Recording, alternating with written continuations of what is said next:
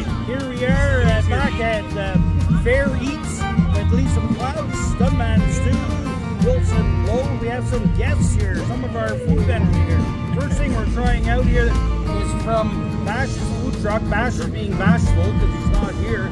But we're going to try out his Buffalo Poutine Chicken. No double dipping, Stu. Let's see how this is.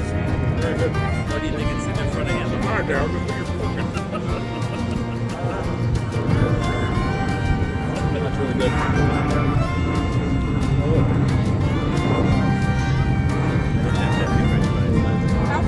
Very good.